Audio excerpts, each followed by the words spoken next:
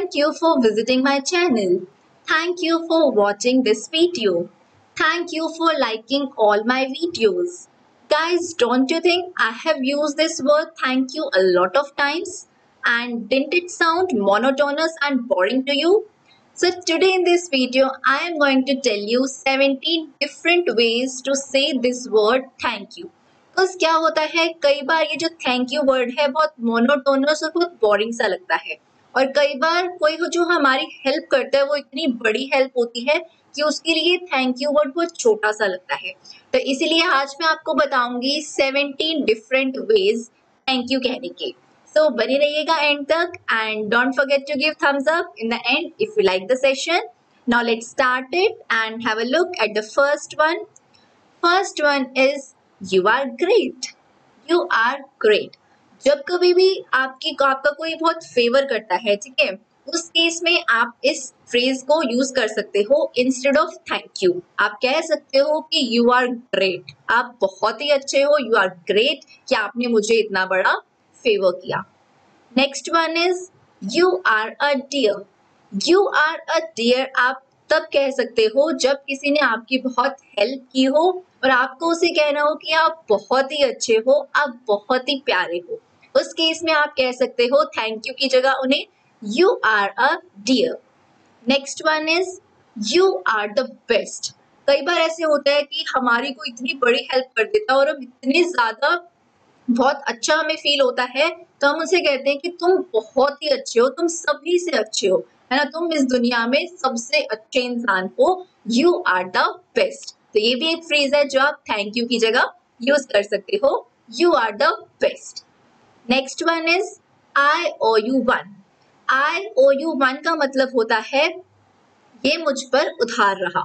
जब कभी भी आपकी कोई बहुत हेल्प करे तो आप उसे कहते हो ना, ये मुझ पर उधार रहा। भाई नेक्स्ट टाइम तुम्हें भी कभी मेरी ज़रूरत हो I will be there for you तो उस केस में आप कह सकते हो I owe you one next one is I appreciated जब कभी भी आपकी कोई हेल्प करे तो आप उसे कह सकते हो कि आई अप्रिशिएट इट मतलब जो तुमने ये किया मैं उसकी सराहना करता हूँ। I appreciate it next one is you are an angel angel क्या होता है? फरिश्ता। ठीक है, कई बार देखो आप कभी बहुत बड़ी मुसीबत में हो और एकदम से आपकी कोई, अचानक से आके आपकी कोई हेल्प करते तो वो आपके लिए भगवान से कम नहीं होता, है ना? तो आप उसे कह देते हो कि आप तो मेरे लिए फरिश्ते की तरह आए हो। आप तो एक फरिश्ता बनकर मेरे लिए आए हो। तो इस केस में आप कह सकते हो you are an angel next one is you are too kind you are too kind आप तब कह सकते हो, जब आपको सामने वाले को कहना हो कि आप बहुत ही अच्छे हो, आप बहुत ही दयालु हैं, बहुत ही दरिया दिल है आपका, उस केस में आप सामने वाले को कह सकते हो you are too kind next one is thanks a bunch thanks a bunch जो है, बहुत ही कॉमन है, आप लोगों ने सुना भी होगा बट यही है कि ये बहुत बेसिक से हैं बट हमें सुने भी हैं हमने कहीं ना कहीं बट हम इन्हें यूज़ नहीं करते हैं, है ना? थैंक्स अ बंच देखो, जब भी आपकी कोई बहुत बड़ी हेल्प कर दे तो खाली थैंक यू कहने की बजाय आप उन्हें कह सकते हो thanks a bunch next one is I am in your debt I am in your debt का मतलब क्या है? कि ये मुझ पर उधार रहा, ठीक है? जैसे I U O U one था, ये भी यही है कि ये मुझ पर तुम्हारा उधार रहा I am in your debt मतलब तुमने मेरी इतनी बड़ी हेल्प की है, चाहे वो फाइनेंशियली हो मोरली हो, कैसी भी हेल्प हो, कि भाई, अब मुझ पर उधार है, कल को तुम्हें भी कभी ज़रूरत पड़ी तो I will be next one is you are a lifesaver you are a lifesaver आप कब कहते हो? आप कई बार कहते हो ना किसी को कि भाई, तूने तो मेरी जान बचा ली। अगर आज तू नहीं होता तो पता नहीं क्या हो जाता। एक लाइफ सेवर के लिए तुम मेरे लिए, तुम मेरे लिए आए हो। तो उस केस में आप कह सकते हो you are a lifesaver next one is I am touched I am touched का यूज़ आप कब कर सकते हो? जब भी आपको कोई बहुत बड़ा सरप्राइज़ दे दे। है ना? आपके लिए कोई बहुत कुछ अच्छा कर दे, जैसे आपके लिए कोई सरप्राइज़ पार्टी ऑर्गेनाइज कर रखी है, या आपके लिए कोई सरप्राइज़ गिफ्ट लेकर आ गया तो आपको कितना अच्छा फील होता है उस टाइम पे। मतलब आपने एक्सपेक्ट नहीं किया होता, एकदम से इतना अच्छा सरप्राइज़ आपको मिल जाए। तो उस केस में आप कह सकते हो I am touched thank you कहने की जगह आप कह सकते हो I am touched next one is a million thanks to you या फिर आप इसे ऐसे भी कह सकते हो थैंक्स अ मिलियन जब भी आप कहते हो ना किसी को हिंदी में कि आपका लाख लाख धन्यवाद, है ना, आपने भाई इतनी बड़ी मेरी हेल्प की, इतना बड़ा आपने मेरे लिए फेवर किया है तो आपको लाख लाख धन्यवाद, उसी को आप इंग्लिश में कह सकते हो a million thanks to you या फिर thanks a million next one is I don't know how to thank you I don't know how to thank you जैसे आप हिंदी में कहते हो कि मुझे नहीं पता कि मैं तुम्हारा शुक्रिया अदा कैसे करूँ। है ना? ये आप लोगों ने सुना होगा, बहुत ही कॉमन है।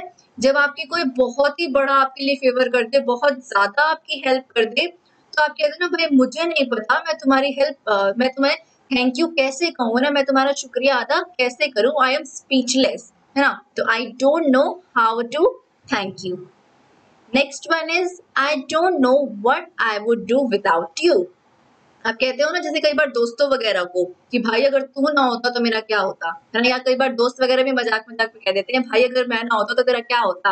है ना? कई बार कुछ फ्रेंड्स हमारे इतने अच्छे होते हैं जो हमारी हर जगह, हर स्टेप पर हमारी इतनी हेल्प करते हैं कि हमें कई बार ऐसा लगने लगता है कि अगर भाई तू ना होता तो हमारा क्या होता? है ना? तो मेरा क्या होता?